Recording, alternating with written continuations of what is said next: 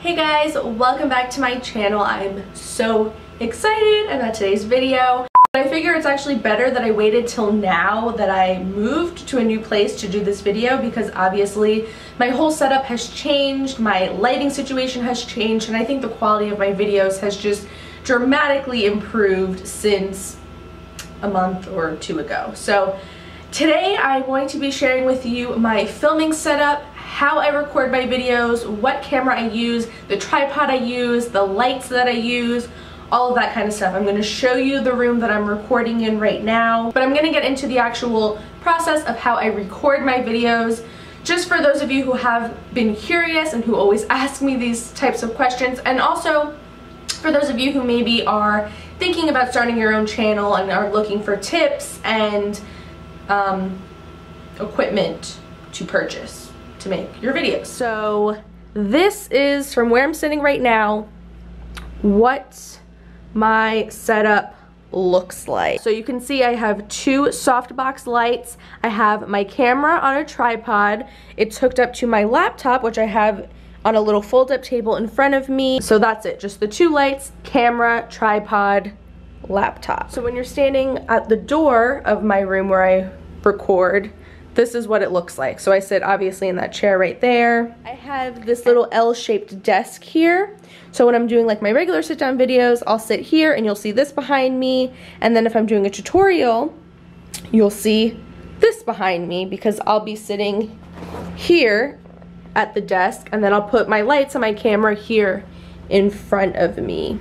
So everything that I use and that I'm going to be showing you, I will have links to down in the description. So I guess let's just start with the camera I use because obviously that's the most important thing. So the camera that I film all of these videos on currently is the Canon T4i. I just used the lens that came with the camera, so it's nothing fancy, it's very standard. This camera does have a touchscreen viewfinder that does flip out.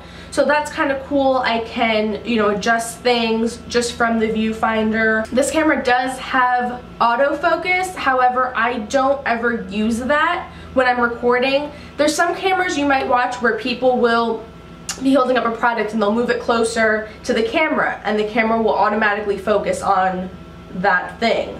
This camera will do that if you have the autofocus this camera will do that if you have the autofocus turned on However, it's constantly moving around and you can hear the lens focusing and it's not like a smooth focus. So I'm not a huge fan of the autofocus on this camera. That's why you never see me use it. I'm not sure if with the newer models they've improved that at all, but with the T4i, just so you know, if you want a camera that does that autofocus thing, this is not gonna be it for you. So overall I love this camera. The quality of it is amazing. I feel like it's really great just for the purpose of making YouTube videos. If you're someone like me who is still a bit of an amateur, you can obviously adjust the settings and you do have a lot of control, but it's not super, super technical and advanced. So if you do want to just stick to the auto settings and stuff, you can do that and that works great too.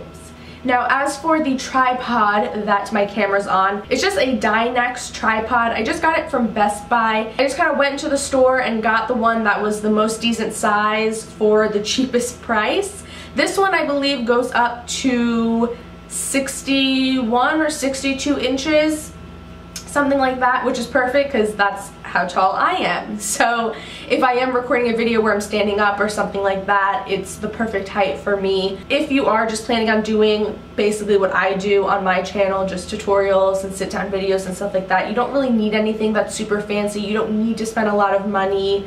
Um, if it's just going to be used inside your home, there's no need to get something that's like crazy expensive or fancy. Now as for the little setup I have with my laptop and all that kind of stuff, my camera actually came with all of that stuff. So it came with the little wire I used to connect it to my laptop and it also came with a CD to install on my computer and that's what gives me the program so that I can adjust my camera and see myself on the laptop and all that stuff. I'm assuming that most DSLR cameras do come with software like that nowadays. It's a really, really handy thing to have. Sometimes the camera's just a little bit too far away. Like right now where I'm sitting, I can't reach the lens to focus it. So it's kind of a pain to try to focus it and then make sure you're in focus where you're sitting and all that. And then my eyesight isn't the absolute best. So from where I'm sitting, it's a little hard on the tiny viewfinder to be able to tell if I am in focus or not. So it's just awesome to have my computer right here in front of me.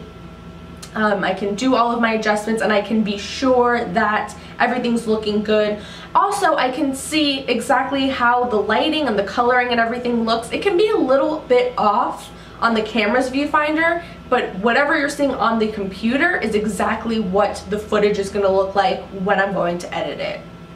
Now, as for my lighting, I actually just got these softbox, softbox, yeah, these softbox lights when I moved to this new place and I love these lights so much. The two of them came together, they came with everything, the stand, the actual um, screen that goes over the lights, the bulbs, everything, all came together.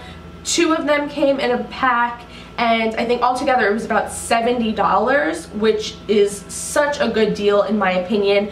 The lighting is perfect, the coloring is perfect, the quality is perfect, it gives me so much light in this room right now, these two softbox lights are the only lights I have on at all.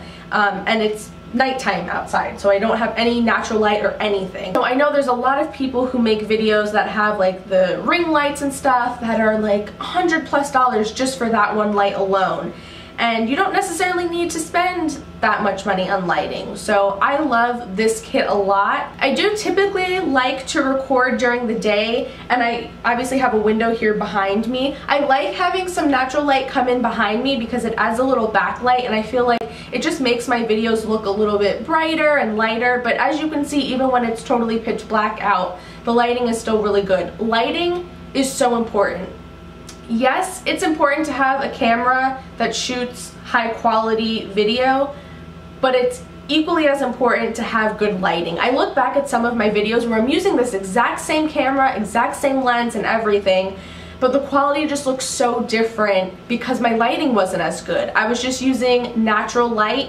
and there just wasn't enough of it now, if you are just starting out your videos, of course, use natural light if that's what you need to do. I mean, by all means, I'm not saying you have to go out and spend any money on artificial lights if you can sit in front of a nice big window and get some natural light. And if you are going to use any type of artificial lights, you want to make sure that the bulbs you're using are white light because if you use something that has a yellow or orangey tinge to it, it's going to make your videos look really orange and yellow.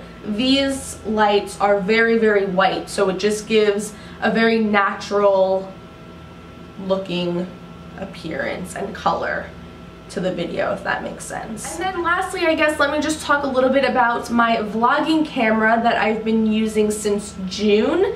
This is the Canon G7X. I love this camera. Now the reason why I wanted to talk about this too is because I think that if you are looking to make YouTube videos and you haven't purchased a camera yet then this might be a good option for you. So let me just share a little bit of the pros and cons and compare and contrast this one to the DSLR that I use. So this does have a screen that flips up like this, which is awesome.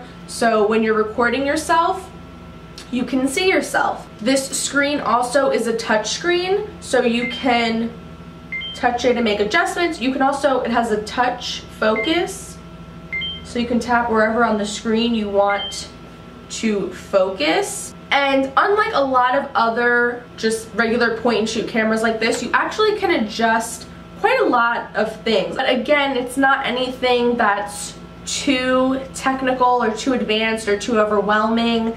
Um, I mean, really anyone can use this camera. It's very simple to use. And the quality, I think, is just as good as the DSLR. I have actually recorded a few just regular sit-down videos with this camera. There definitely is a bit of a difference in the quality and also the sound compared to the DSLR camera, but this is still a really good option. The quality is still absolutely amazing. Another thing I love about this one is that it has Wi-Fi capabilities, so you can take a picture with this and then send it directly to your phone and then post on Instagram or Twitter or whatever you want. So if you've ever noticed that some of my Instagram pictures are really, really high quality, it's because I took it with this camera. But if you are someone that wants to be vlogging, you want to have your camera with you to take pictures and things like that, then this might be a little bit better and more cost effective because it's kind of your all-in-one camera. I mean, there's really no reason to have two separate cameras. So I think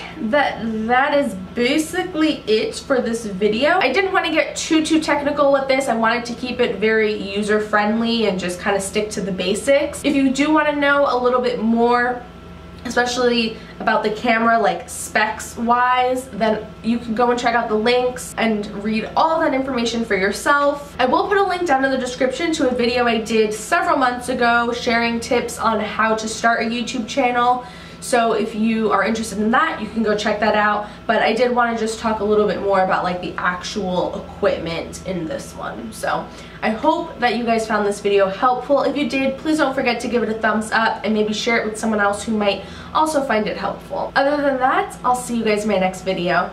Bye. 60% of my handbags are all from that website. I am addicted. I love their stuff if I had a little more money to spend, I would definitely just get something every single month. But um, I did want to show you just like one thing I have. This is the most